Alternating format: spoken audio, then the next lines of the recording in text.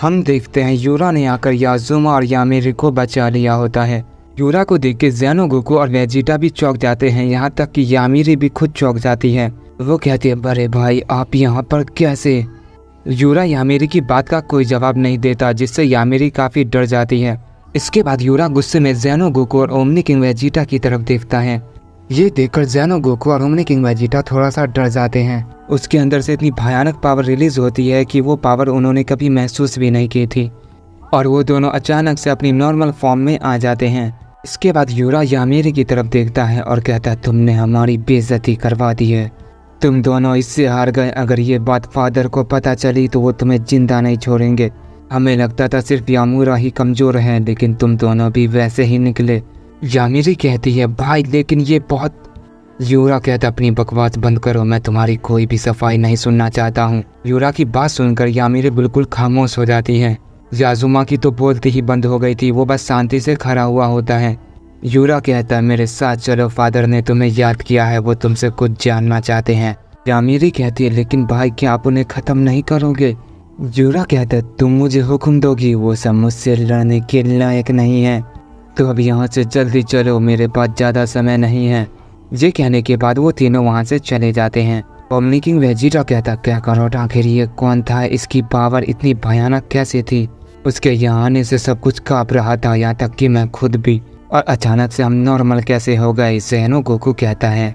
मैं भी इस बारे में ज़्यादा नहीं जानता, लेकिन उनकी बात से लग रहा था वो उनका बड़ा भाई है। और वो उन्हें बचा कर ले गया, उसने हमसे फाइट भी नहीं की। क्या बात है, मुझे कुछ समझ नहीं आ रहा, क्या और भी बड़ा खतरा आने वाला है। यह सब कुछ पहले जैसा हो चुका है, लेकिन मुझे ऐसा तो नहीं लगता। किंग वेजिटा कहता लगता है अब असली खतरा आने वाला है, हमें संभल कर रहना होगा और इस बारे में सबको बताना होगा। जैनो गोकू कहता तुमने बिल्कुल सही कहा, हमें सबसे मिलकर इस बारे में बात करनी होगी। और जैसे वो सब जाने लगते हैं, उनके जाने से पहले ही सब वहाँ पर आ जाते हैं। किंग गोकू वेजिटा को देखकर कहता क्या बात है वेजिटा लगता है तुमने उसे हरा दिया। ओमनी किंग वेजिटा कहता है, नहीं, क्या करो तो वो बच गई और तुम नहीं जानते, अभी हमारी मुलाकात किससे हुई है? ओमनी किंग गोकू कहते ये तुम क्या बात कर रहे हो? क्या तुम अपनी ताकत मुझे दिखाना नहीं चाहते? ओमनी किंग वेजिटा कहता क्या करो मैं अभी कोई मज़ाक नहीं कर रहा और ना ही मैं सॉफ्ट के मूड में हूँ. ओमनी किंग गोकू वेजिटा को गुस्सा देख कर कहता है तो बात क्या है वेजिटा हमें सही सही बताओ। गोकू कहता है, तुम्हें देखकर लगता है तुमने किसी रॉयल ब्लड डार्क यूज़र से बात की है। शायद एक और आ चुका है ओमनी किंग वेजिटा कहता है तुम्हें कैसे पता चला? तुम जानते भी हो वो कितना ज़्यादा ताकतवर है। गोकू कहता है, मुझे कोई फ़र्क नहीं पड़ता। मुझे ये बात तुम्हारे चेहरे को देखकर पता चल गई है वो कितना पावरफुल होगा। लेकिन मुझे समझ नहीं आ रहा वो बार बार क्यों आ रहे हैं और इस बार उनका क्या मकसद हो सकता है। इसके बाद हम ए एफ़ गोकू को देखते हैं, जो जायकर को देख के काफ़ी गुस्सा हो रहा होता है और वो इस मौके के तलाश में होता है कि वो किसी तरह उसे ख़त्म कर दे। लेकिन उसे वो मौका नहीं मिल रहा होता है और तभी वो अचानक से गुस्से में आकर जायकर पे हमला कर देता है। लेकिन इस बार ए एफ़ वेजिटा ही उसे ऐसा करने से रोक लेता है और कहता है क्या करोट ये पहले जैसा बिल्कुल भी नहीं है, इसे हमें एक मौका देना होगा। मैं इल्यूजन वर्ल्ड में इसके साथ ही था और मैंने देखा ये पहले से बिल्कुल बदल चुका है। एफ़ गोकू कहता, तुम भी वेजिटा उसकी साइड ले रहे हो? तभी ओमनी किंग वेजिटा कहता, आपस में लड़ना बंद करो, ये आपस में लड़ने का टाइम नहीं है।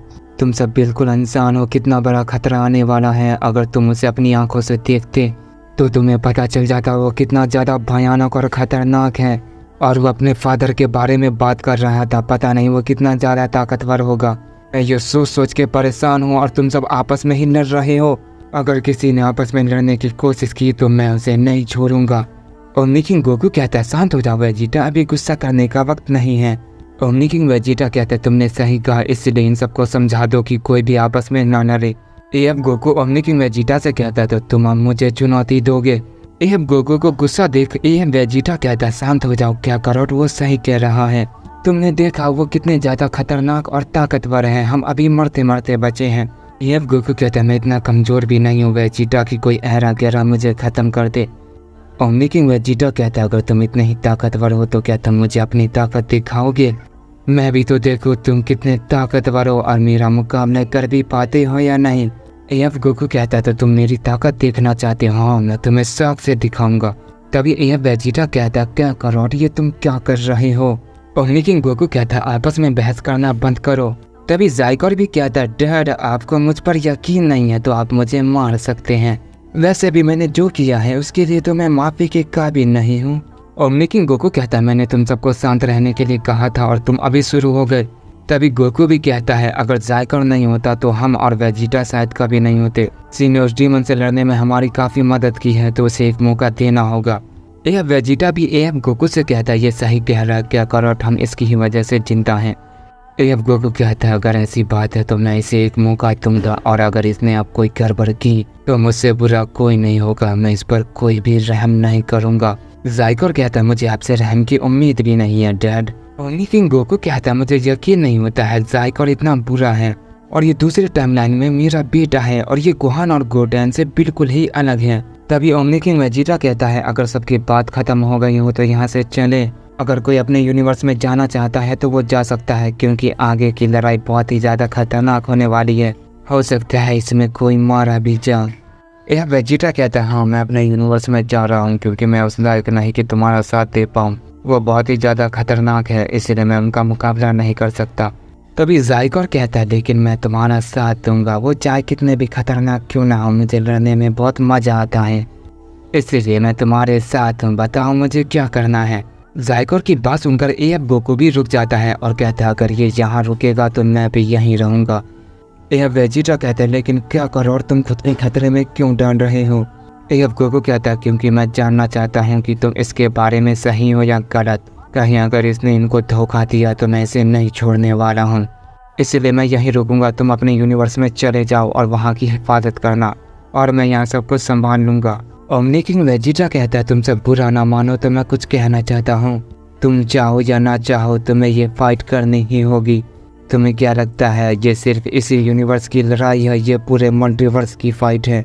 अगर हमने उसे नहीं रोका तो पूरा मल्टीवर्स तबाह हो जाएगा। तुमने उसकी पावर नहीं देखी, अगर वो इतना ताकतवर है तो उसका फादर कितना ताकतवर होगा। इसलिए हमें ना चाहकर भी ये फाइट ज्वाइन करनी होगी, और उसे रोकना ही होगा। और इसके लिए हमें बहुत ज़्यादा ट्रेनिंग करनी होगी, और मैं और क्या करोट तुम सबको ट्रेनिंग देंगे और बहुत ज़्यादा ताकतवर बनाएँगे।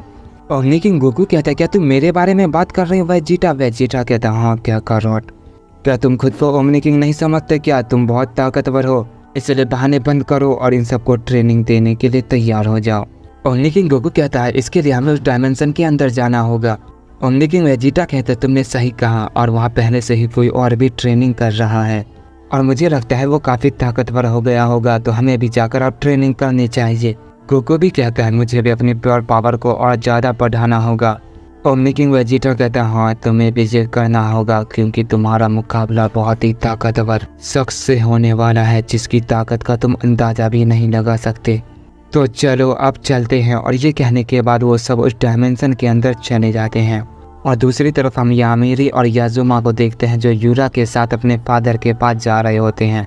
यूरा उनसे बात कर रहा होता है और कहता है, तुमने रॉयल डार्क ब्लड की बेइज्जती कर दी है। इसलिए फादर के सामने कुछ ऐसा मत कहना जिससे वो तुम्हें उसी वक्त ख़त्म कर दे। बस वो जो पूछे, तुम्हें उसी का जवाब देना है। याजुमा कहता, परे भाई, क्या आप हमें बता सकते हैं, उन्होंने हमें याद क्यों किया है? उन्हें सब पता होगा, क्या वो हमें मारना तो नहीं चाहते? जूरा कहता, लगता है तुमने मेरी बात को सीरियस ले लिया, वो तुम्हें सिर्फ़ सजा देंगे, मारेंगे नहीं। इसलिए डरने की कोई ज़रूरत नहीं है, बस तुम फादर के सवालों का जवाब देना। वो तुमसे कुछ जानना चाहते हैं, तुमने प्योर पावर वाले शख्स से फाइट की है। तो तुम्हें इसके बारे में काफ़ी कुछ पता होगा। याजुमा कहता हाँ बड़े भाई, लेकिन वो आपके सामने कुछ भी नहीं है। आप उसे आसानी से हरा सकते हैं। मैंने उसके साथ फाइट की है। वो इतना भी ज़्यादा ताकतवर नहीं कि आपका मुकाबला कर पाए। यूरा कहता है शायद तुम इसी गलती की वजह से हार गए हो। तुम जानते हो डार्क पावर की सबसे बड़ी कमज़ोरी प्योर पावर है, इसीलिए हमें हल्के में नहीं लेना चाहिए। याजुमा कहता है, जी बड़े भाई, मैं आपकी बात समझ गया। हम देखते हैं, बात करते हुए आखिरकार वो अपने फादर तक पहुँच गए थे। यूरा कहता है, फादर, मैं आ गया और आपको इसके बारे में जो जानना है, आप जान सकते हैं। और इसके बाद आप जैसा कहेंगे, वैसा ही होगा।